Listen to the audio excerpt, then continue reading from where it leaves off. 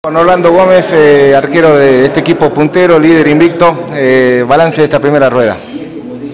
Bueno, buenas noches primero. Eh, positiva, ¿no? porque nosotros buscamos salir a ganar todos los partidos, lamentablemente hoy no se un rival, difícil. Pero tuvimos una, una oportunidad en los últimos minutos, creo que terminamos con una posición privilegiada, ahora tenemos el partido local, así que vamos a empezar este, en la segunda rueda como, como lo venimos haciendo. Muchos cuando iba pasando el campeonato decían es sorpresa lo de Brown de Lules. ¿Para vos no es sorpresa? Eh, que digan los periodistas por ahí, este, que nos pueden decir ellos, nosotros sabíamos lo que queríamos, lo que, lo que nos habíamos propuesto, lo que habíamos puesto en la temporada. ¿no? Hay jugadores con mucha experiencia que han jugado torneo argentino A, argentino B, entonces eso es, es, es valorable y, y las cosas que nosotros venimos, o sea, las cosas que hacemos dentro del campo de juego, sabemos lo que queremos hacer. ¿no? ¿Vos por cuánto equipo pasaste en tu trayectoria? Eh, por un montón, ¿no?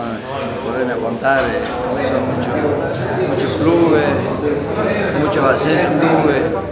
Yo ya tengo 38 años, empecé a los 17 años a jugar, así que imagínate. Jugué 9 años en San Martín, después jugué en, en, New York con Argentino A, en Tucumán, después me fui a Santiago, a Catamarca, a La Infancia. Eh, de Salta tuve en Santa Rosa dos semanas, eh, pero son muchos clubes. Eh, ¿qué, ¿Cómo es la competencia con, con Eisenberg? Siempre es buena con los, con los, compañeros que tengo, no tan solo con él, sino con los otros dos compañeros que tengo en el club, que son, de, son chicos de 20 años y yo soy el más grande.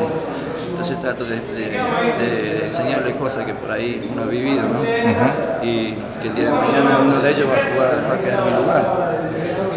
La competencia siempre es sana, eh, somos muy buenos compañeros, trabajamos siempre de la misma manera todo fútbol, así que muy buena la, la, convivencia que tenemos. Internamente, ¿soñás con un ascenso?